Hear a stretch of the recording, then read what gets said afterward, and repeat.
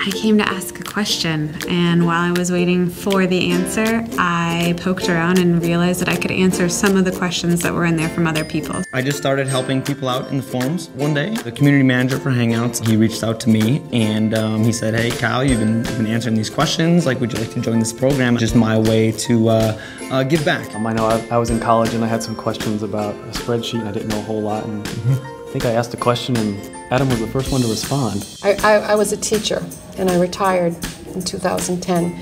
So I started answering questions and helping people because I couldn't really stop teaching.